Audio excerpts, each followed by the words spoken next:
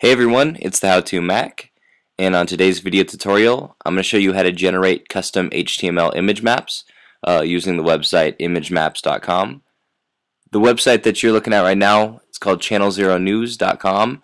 Uh, this is a site that I've been working on for the last two weeks or so, and I've been using image mapping a lot for my nav menu, so I thought I'd put a video out. So the first thing that you're going to want to make sure you do is make sure that your image that you want to create a map for is hosted in a secure place somewhere online.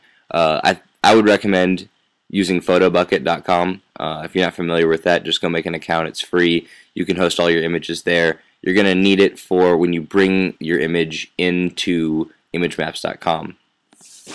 So once you've got your image, you're going to want to click on rectangle and now you can position this rectangle over any part of your image that you want to create a link for.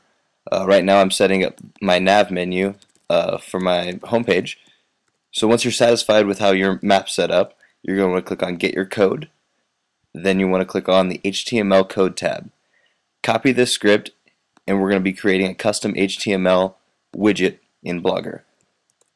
So when I said it was important to have your image hosted, I was speaking to those that were trying to make an image map for a page banner, background, or menu like I'm doing. Uh, so when you get to Blogger, you're going to want to click on the Edit HTML tab under Design. Uh, here you're going to want to search through your script to find what you're looking for. In this case, I'm looking for the menu. So I'm going to search through the different menus until I find the image URL. I'm going to replace that image URL with the image URL from PhotoBucket. Then I'm going to preview my changes to make sure I didn't screw up.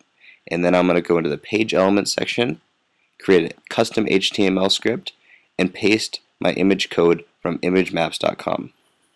So now you can see my menu header is right where it's supposed to be. So now I'm going to go back, take the HTML from image maps, copy and paste it, and now we're going to put it in the design elements part of Blogger.